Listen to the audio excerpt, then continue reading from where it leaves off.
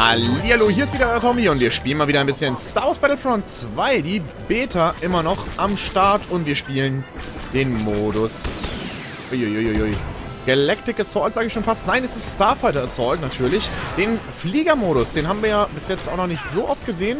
Und auch im Livestream kam der dann immer relativ kurz. Also deswegen will ich den auch mal spielen, weil der bockt sich eigentlich schon richtig hart. Das Game allgemein immer noch top.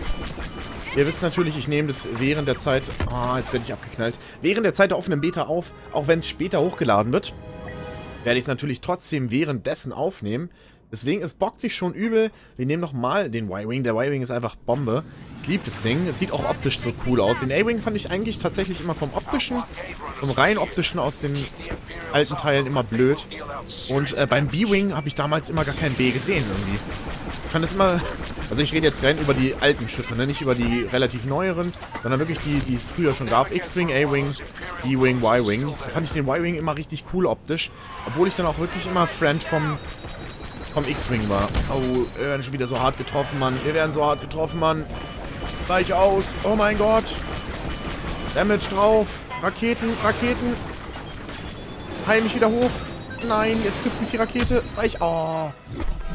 Schwer, Mann, schwer. Ich glaube, das war das ein, Eindruck, irgendwie mein Team reißt nicht so viel wie die Gegner im Moment. Aber da ist auch einer dabei, der hat neun Kills schon nachgerissen hier bei den Gegnern. Wir werden natürlich wieder versuchen, auch ein Heldenfahrzeug zu erspielen. Ob es der gute Poe Dameron ist oder der rasende Falke. Das werden wir natürlich noch herausfinden.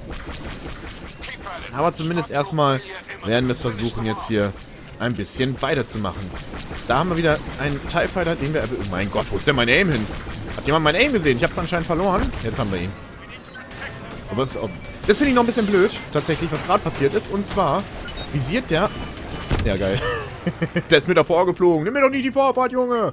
Der visiert einfach so mit der Rakete irgendetwas an. Und das finde ich manchmal beschissen. Gerade bei solchen Situationen, wo man ähm, auf den Sternzerstörer da, nee, bei dieser Basis, diese Greifarme, ne, am Ende, wenn man die abschießen möchte mit den Raketen, man zielt direkt da drauf und dann drückt man das und er visiert auf einmal irgendwelche Geschütztürme an. Er visiert einfach irgendwelche Geschütztürme an, die irgendwo auf dieser Station ihr Unwesen treiben. Das finde ich dann immer so ein bisschen, naja, ein bisschen komisch. Huch, was war denn das gerade mit der Kamera? Na gut, das klappt ja jetzt wieder alles. So, den haben wir auch. Ich hoffe ehrlich gesagt, der Flugmodus kriegt noch ein bisschen, ja, nicht unbedingt Neuerungen, aber äh, wird ein bisschen angepasst. Man kann sich vielleicht noch ein paar mehr Fahrzeuge kaufen oder so. Das fehlt mir hier auch noch so ein bisschen. Aber gut, erstmal warten, bis das ganze Spiel draußen ist, bevor man hier urteilt, ne? Gut, aber im Moment... Ah, oh mein Gott. Werde ich hier schon wieder verfolgt von irgendwas. Aber gut, das ist halt die Wendigkeit... Die Wendigkeit dieses Fahrzeugs hier. Wäre ja auch recht unfair, wenn die kleineren Flieger dann halt nicht mal wendig wären. Ah, jetzt kriege ich den nicht mal zu fassen hier, den vor mir. Er hat, glaube ich, diese Fähigkeit an, dass man ihn gerade nicht anvisieren kann, aber man kann ihn natürlich trotzdem treffen, wenn er einfach starr vor einem rumfliegt. So ist es ja nicht. Er ist ja nicht unbesiegbar, liebe Freunde. Den treffen wir auch so, da brauchen wir gar keine Raketen für. So, jetzt schieße ich irgendeine, irgendeine stationäre Sache hier an. Hält aber auch ganz gut was aus, ne? Destroyed Turret. Bringt gar nicht so schlecht Punkte, ehrlich gesagt. Haben den erwischen, den erwischen wir? Er hat nicht mehr viel. Oh, jetzt werden wir selbst wieder angegriffen. Bisschen wegziehen. Nein. Ah. Oh. Wir haben aber ordentlich Punkte. Wir können uns auch den Falken direkt holen. Siehst du mal, nice gelaufen ist es am Ende dann doch. Oh, wir haben nicht mehr viele Tickets übrig. Wir müssen noch unfassbar viel Schildenergie verballern bei den Gegnern. Die machen uns schon, die machen uns hier lang. Vielleicht hätte ich nicht ähm, den Falken nehmen sollen, sondern den Paul Dameron. Denn der Falke ist nicht gerade der geilste, um jetzt hier reinzukommen. Ich werde jetzt versuchen, ich werde jetzt versuchen, mehr oder weniger, die Fahrzeuge und die, die Raumschiffe von denen zu zerstören, damit meine Teammates auch ein bisschen Freiraum haben und hier immer mal bei diesen breiteren Öffnungen durchfliegen vielleicht. Ich werde gerade schon so verfolgt.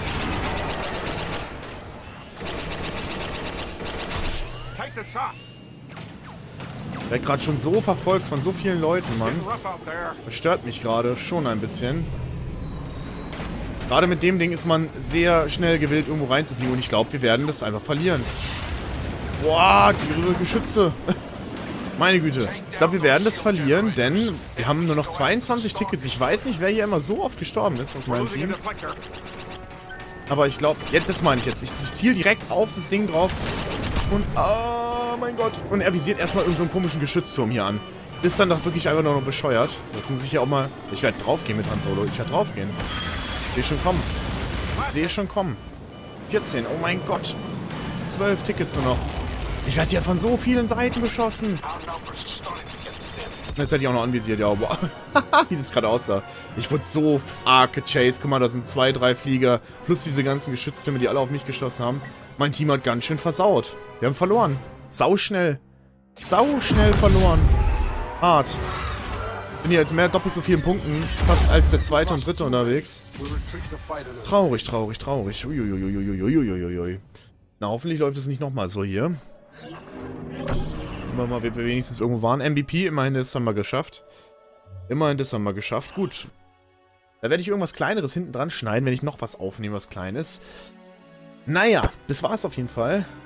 Mit äh, der Folge soweit. Und wir sehen uns gleich wieder. Wir spielen mit dem Imperium, werden jetzt hier mit dem Bomber versuchen, unsere Feinde auszuschalten und den Sieg an uns zu reißen. Den ersten haben wir schon. Da ist auch gleich wieder einer. Ich glaube, den konnten wir nicht mehr treffen. Andere Fähigkeit einhauen. Oh mein Gott, was, was werde ich denn hier alles anvisiert, Mann? Die machen uns hier ganz schön lang, habe ich den Eindruck. Oder das kommt mir gerade nur so vor. Guck mal, wie, was der für Ausweichrollen drauf hat, der Kerle. Der Kerle. Pam, pam, pam. Aber den haben wir gut gegeben. Aber der hat überlebt. Und niemand überlebt hier. Niemand überlebt. Nicht einmal ich. Na gut, das wäre ein bisschen dumm. Den verfolgen wir auch weiterhin. Das sieht geil aus hier. Der Planet Fondor ist, glaube ich, ähm, zumindest meines Wissens nach einer der Planeten, der in der Kampagne eine große Rolle spielt. Ich bin mir gerade gar nicht so sicher. Könnt ihr gerne mal schreiben, ob das derjenige ist, welcher dann auch in den Trailern zu sehen war mit diesen roten Bäumen, weil ich glaube, das war der Fall wo dann die Aiden relativ viel zu sagen hat. Da hat die Aiden die Hosen an, würde ich behaupten. Und ähm, das ist auf jeden Fall ganz cool zu sehen, dass mal auch hier solche Planeten im Spiel kommen. Ist natürlich auch ein bisschen easy to make, denn wir werden wohl auch in der Kampagne relativ viel solche Raummissionen haben hier, wo man dann auch irgendwas zu tun hat. Und äh, auch solche Bodenmissionen, wo wir dann auf Fondor kämpfen und so. Also ich denke mal, das kommt hier alles, was wir hier zumindest sehen, ziemlich Kampagnen, ja, Kampagnen verschuldet. Im großen, groben und ganzen. Und den haben wir doch wohl, jawohl. El Tigre. Ne, die ist nicht mal so. Denn, ähm, ist wirklich so, dass hier die Kampagne, glaube ich, spielt auf Fondor. Ich wüsste zumindest jetzt nicht, dass der Planet irgendwie anders mal vorkam. Oh, anders, anders, anders, anders, anders. Zieh hoch, zieh hoch, zieh hoch. Oh mein Gott. Will kein Teilpilot mehr sein. Da hat mich der Crusader erwischt. Die haben ja auch alle schon irgendwelche krassen Karten, wenn man jetzt hier bei mir guckt. Ich habe hier eine drin, ne? Nicht mal eine Ahnung, was die bringt. Ich kann mal gerade gucken, was die macht. Äh, Reinforced Hull. Das wird wahrscheinlich irgendwas mit mehr Schild geben. Ja, 10% mehr Leben. Das ist schon mal nicht schlecht, ne? So 10% mehr Leben, das kann man sich schon mal auf der Zunge zergehen lassen. Guck mal hier, der Albert, der spielt richtig krass Objective 0, Kills aber 2000 plus Punkte. Respekt an den Kerlen. Und wir machen mal unsere Großoffensive hier auf, auf das Schiff hier, auf die Tentive 5. Wenn sie das überhaupt ist. Ich glaube nicht, dass sie das ist. Aber zumindest auf dieses Schiff hier. Unsere Großoffensive. So, jetzt müssen wir hier die Y-Wings, glaube ich, aufhalten, gell? Die computergesteuerten. So, so, so, so, so. Den auch. Und jetzt noch den letzten. Aber da sind einige, die mit hier mitfliegen. Den erwischen wir wohl auch noch. Das wäre ja wohl gelacht, wenn nicht. Der Rebel Blockade Runner hier. Den haben wir auch erwischt anscheinend, der eine. Den einen. So, nichts an. Mich visiert nichts an. Nichts hat mich an, mich zu visieren hier. Crusader, da haben wir den Kerl, der mich vorhin geholt hat hier. Was war denn das auch für ein Move von dir, Kollege? So, jetzt wieder mal Multischuss. Multischuss-Anvisierung. Raus. Oh, wow, wow. Ich sehe gar nichts mehr. Ich bin mich nur noch am, im Kreis drehen. Jetzt kriege ich wieder ordentlich Schaden, aber den erwischen wir vorher noch. Den erwischen wir nicht. Graf Spee, 2016. Hat er sich erst so spät seinen Account gemacht, oder wie soll das... Was soll das heißen? Weil beim ersten Mal so wenig Punkte erfarmt? Also guckt euch den einen an, ne? Der Albert Tochon. Respekt, wirklich krass. Null Kills, 3600 Punkte. Ich weiß nicht genau, was der treibt. Auf jeden Fall treibt er irgendwas ganz, ganz gewieftes mit den ganzen Punkten, die der sammelt. Irgendwas hat er im Schilde. Oh, da müssen wir aber richtig weit voreilen. Da treffen wir auch. Uh. So, jetzt müssen wir aber auch hier die Y-Wings ein bisschen aufhalten. Bevor sie unsere Docks erreichen. Alter, der ist jetzt besiegt. Was war denn das?